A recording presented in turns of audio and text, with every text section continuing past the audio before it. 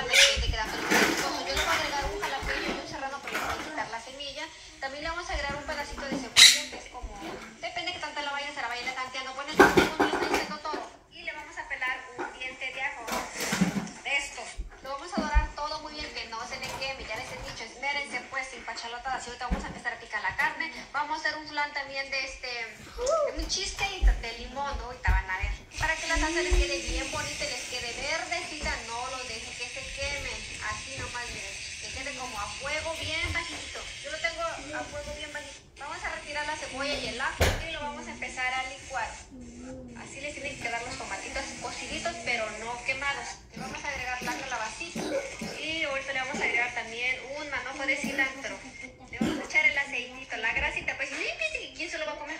También le vamos a agregar como media taza de agua para que quede aguadita. Le vamos a agregar un puño de sal y la vamos a licuar.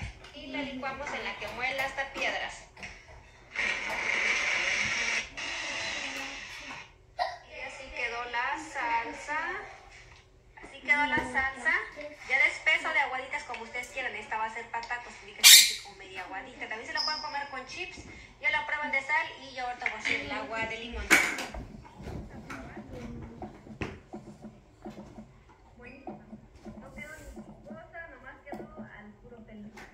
Vamos a hacer el agua de limón, aquí tengo el exprimidor y lo vamos a empezar a exprimir, a ver si tienen agua, porque luego están más secos que yo. Vamos a exprimirle como el jugo de unos 5 limones, yo lo agrego de los dos limones, del amarillo y del verde. Aquí ya tengo el jugo de limón, aquí tengo el amarillo, le vamos a poner un chingo de hielo para que quede bien muerta.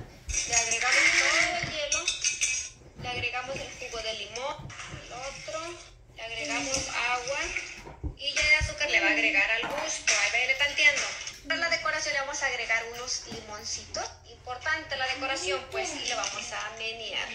Así quedó el agua de limón. Le iba a echar unas rodajas de limón y que todo, según hasta lo aparté. Les digo, pues, cómo ando. Y le voy a poner unas de naranja ya para que dé el gatazo. Así quedó el agua. Ya vamos a empezar a preparar la carne para los tacos. Y ya les digo cómo quedó todo.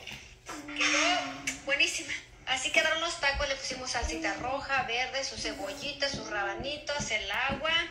Así quedaron las salsas. También les voy a subir la receta de esta, las cebollitas. Y ahora sí, mamá, entonces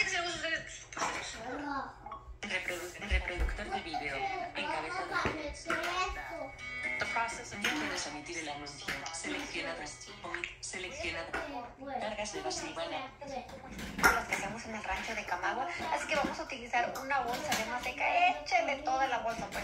Le vamos a agregar tres tazas y media de azúcar y estas van a quedar para chuparse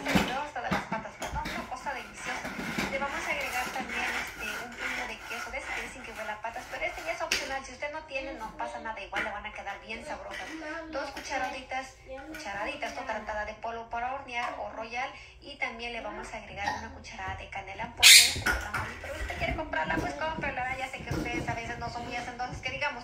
Lo vamos a mezclar todo muy bien y le vamos a agregar este 8 productos de gallina,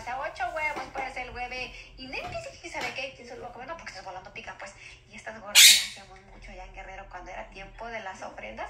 Yo ya ando haciendo y pasadito, pues yo ando a ir a échese una bailita, pues. Le vamos a agregar 2 libras de ¿Va a hacer manteca. taco mañana usted? esta. La vamos a poner a Maybe. derretir este, a fuego. ¿Cómo que maybe? Y no dice Que puso va a hacer tacos y ¿Y punto. qué haces escuchando tanto ese programa? Pues te va a dar hambre. Por eso me da a hambre, pero me a gusta. No, no lo ando escuchando entonces porque esas cosas así le da hambre a uno. Por eso me da hambre, pero me gusta. manteca a Pero ni la conocí.